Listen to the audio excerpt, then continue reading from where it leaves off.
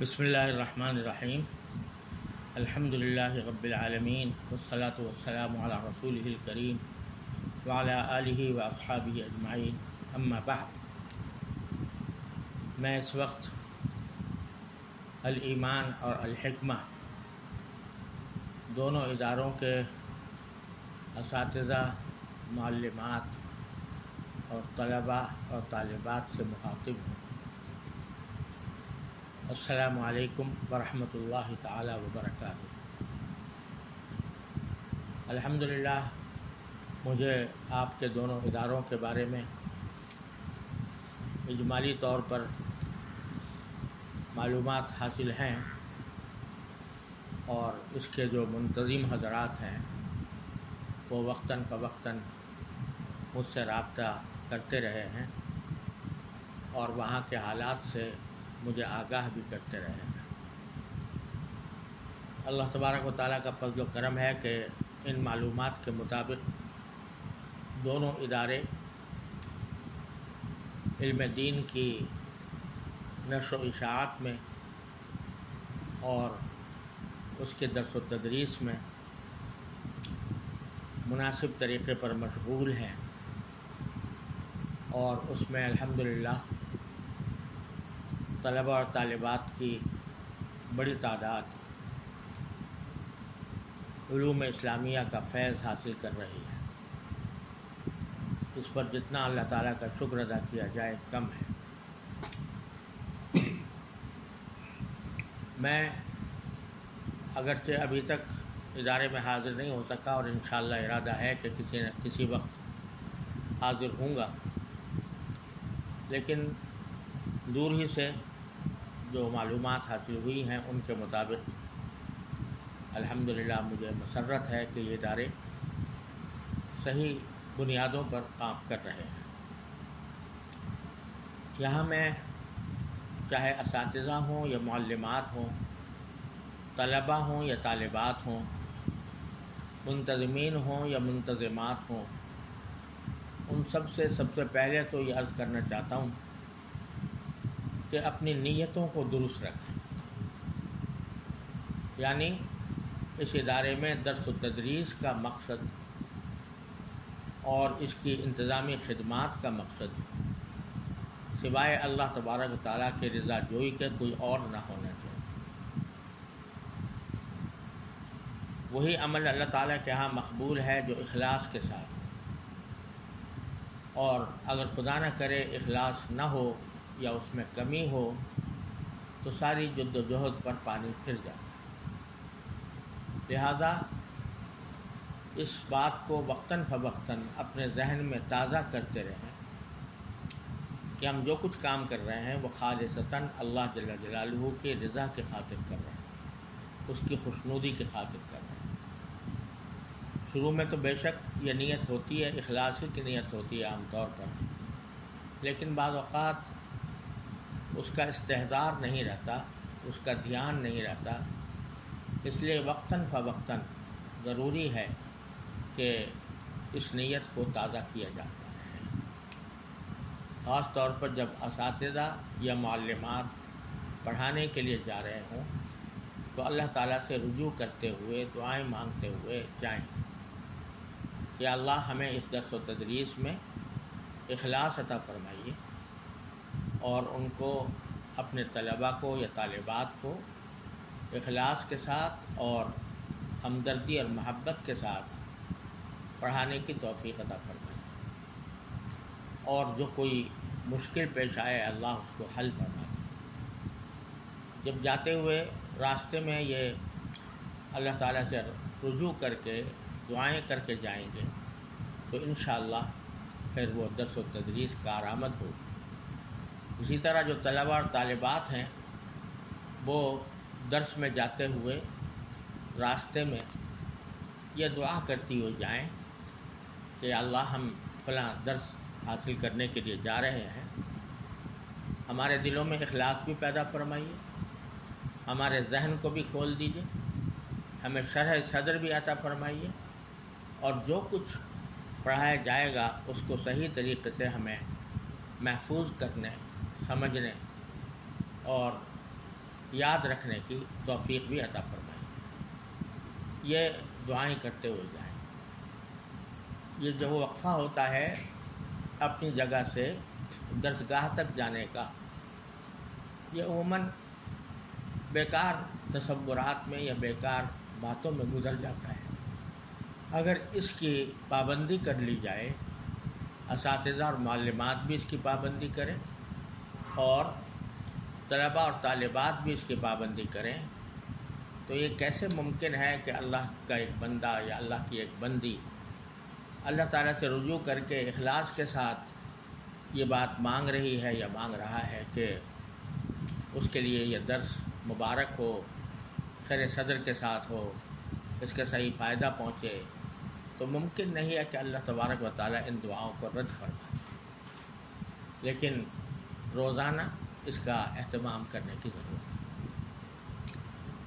दूसरी बात यह है कि इल्म बज़ात ख़ुद कोई मखसूद चीज़ नहीं है। इल्म ना अपनी ज़ात में मैार फजीलत है। क्योंकि मेरे वालद माजिद रहमत फरमाया करते थे कि शैतान को भी बहुत ज़्यादा इल्म है, लेकिन वो इल्म किस काम का जो इंसान को ईमान भी अता न कर सके? इसी तरह आज दुनिया में बहुत से गैर मुस्लिम बड़ी बड़ी यूनिवर्सिटियों में इस्लाम के ऊपर रिसर्च करते हैं। वहाँ इस्लामिक स्टडीज़ एक मुस्तकिल मजमून के तौर पर पढ़ाया जाता है और हमारी तफसीर हदीस, फ़िक़ह की किताबें पढ़ाई जाती हैं या उनका मुताला कराया जाता है। मजामी लिखवाए जाते हैं। मकाले और किताबें तालीफ़ कराई जाती हैं। उन मकालों और उन तालीफ़ात को अगर आप देखें तो उनके अंदर जो मौक़ाना बहसें हैं और जो हवाले किताबों के दर्ज हैं बाज़ात उनको देख कर यह अंदाज़ा नहीं हो सकता कि ये किसी गैर मुस्लिम के लिखे हुए हैं तो उनके पास भी तफसीर हदीस फ़िक़ह का इल्म है अगरचे उसमें बहुत सी गुमराहियाँ भी उन्होंने शामिल कर दी हैं लेकिन जो बुनियादी इल्म है वो बड़ी हद तक उनको हासिल है लेकिन वह इल्म किस काम का कि जो इंसान को ईमान के ईमान के तकाज़ों पर अमल करने के लिए उसके होंठ भी तर न कर सके। लिहाजा इल्म बज़ात ख़ुद कोई चीज़ मकसूद नहीं है। असल मकसूद यह है कि जो कुछ इल्म हासिल किया है, उस पर अमल हो। अब अगर हम कुरान हदीस में, फ़िक़ह में नबी करीम सरवत आलम सल्लल्लाहु अलैहि वसल्लम के तरीक़ ज़िंदगी और आपकी सुन्नतों को पढ़ते हैं तो ये महज पढ़ लेना काफ़ी नहीं है, बल्कि जो कुछ पढ़ा है उसको अपनी ज़िंदगी में दाखिल करने की ज़रूरत है। इतबा सुन्नत का अहतमाम तमाम वो अहकाम जो शरीयत ने अता किए हैं, उनका अहतमाम जिसमें सिर्फ़ इबादत ही दाखिल नहीं है, बल्कि मामलात भी लोगों के साथ माशरत भी, और अखलाक व आदाब भी, ये सारी चीज़ें मिलकर दीन बनती हैं। उनके ऊपर अमल करने का अहतमाम होना चाहिए।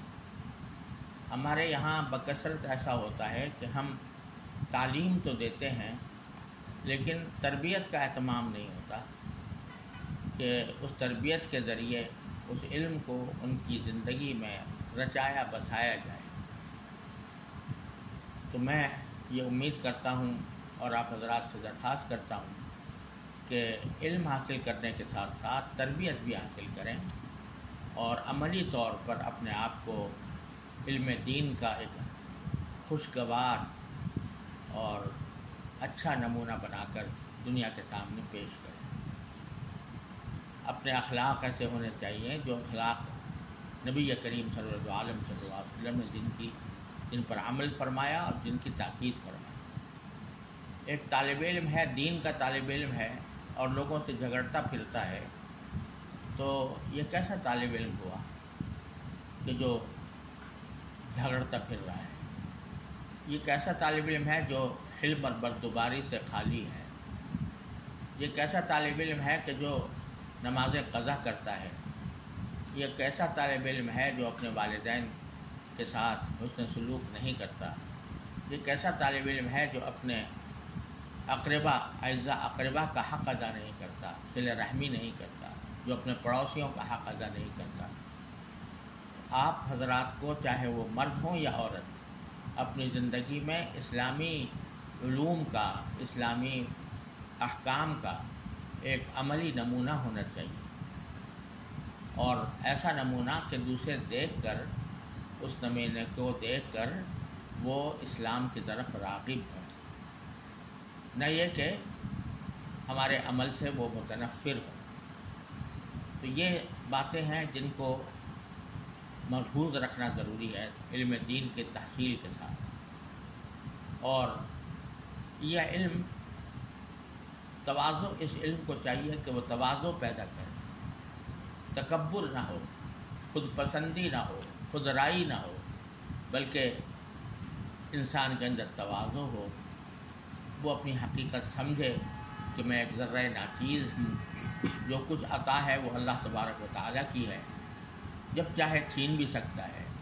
लिहाजा अगर नंबर अच्छे आ गए हैं और तालीम में कोई नुमाया हैसियत हासिल हुई है तो उससे गर्दन नहीं अकड़नी चाहिए, सीना नहीं तरना चाहिए, बल्कि अल्लाह ताला के आगे गर्दन को झुकना चाहिए कि अल्लाह आपने अपने फजल करम से मुझ जैसे बेकमाल शख्स को इस नेमत से सरफराज बनाए तो ईसार होगा, तवाज़ो होगी अखलास होगा और अल्लाह तबारक व ताली की खुशनूदी की नीयत हर मकाम पर होगी तो ताज़ा किया जाता रहेगा। तो देखिए कि इन इस में कैसी बरकत होती है बस इस वक्त मैं इतनी ही गुजारिशात आप हजरात की खिदमत में अर्ज़ करना चाह रहा था। मालूम हुआ है कि माशाल्लाह इस वक्त तकसीम इसनाद की एक तकरीब मनद हो रही है।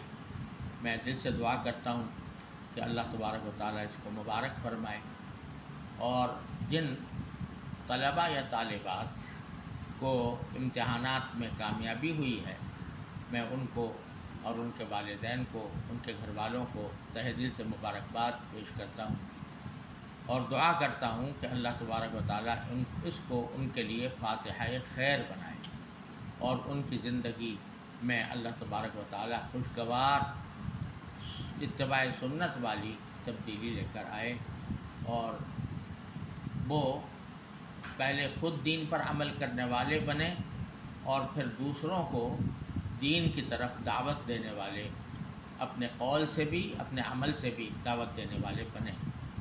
और अल्लाह तबारक वाली इस इदारे को, ये दोनों इदारों को अल्लाह तबारक वाली अपनी बारगाह में कबूल फरमाए, जो मुंतजमीन अखलास के साथ इसमें लगे हुए हैं। अल्लाह ताला उनके अखलास को कबूल फरमाए और इसको दिन दूनी रात चौगनी तरक्की अता फरमाए। ज़ाहरी तरक्की भी और बातनी तरक्की भी। अल्लाह तबारक व से ये दुआ करते रहना चाहिए। और मैं भी अल्हम्दुलिल्लाह दुआ करता हूँ। तो आखिर दावाना अनिलहमदिल्ला